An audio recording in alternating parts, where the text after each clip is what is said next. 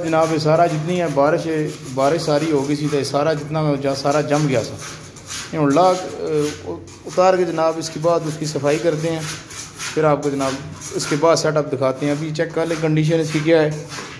ये देखें। सफ़ाई करके फिर उसके बाद आपको बताते हैं इसकी कंडीशन क्या होगी।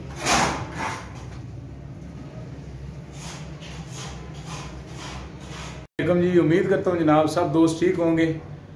बारिश उतरी है, तकरीबन दो तीन दिन जनाब बारिश उतरी है, ये चेक करें। ये जनाब, इसको भी चेक करें, अभी जनाब सर्दी पड़ने लगी है और ये जनाब आहिस्ता आहिस्ता जो है ना, ये अभी मरेंगी।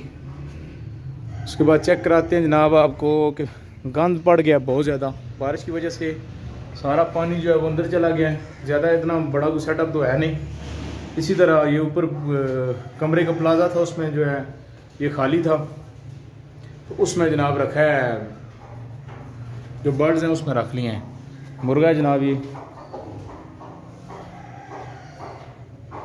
आज सारी सफ़ाई करते हैं। कल जनाब ये हुआ है कि इधर से सारा जितना भी है, इस तरफ़ से बारिश आई है सारी। इस साइड से सारी बारिश जनाब अंदर घुसती रही है।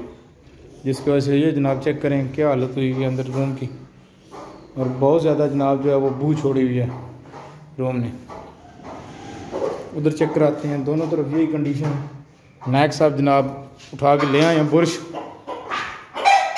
नैक साहब बुरश ले आए नैक साहब कहाँ से ले, कहाँ से लेके आए हो ये?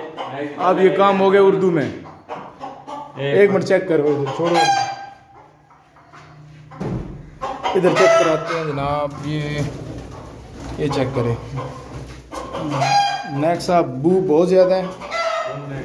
ये ये इस तरह तो नहीं है जनाब सारा बारिश की वजह से ही हुआ है सारा। ख़राब हुआ हुआ है।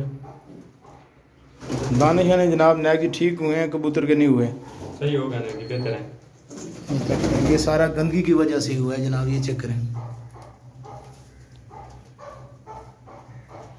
दानों के ऊपर जनाब नैक साहब ने लगाया है।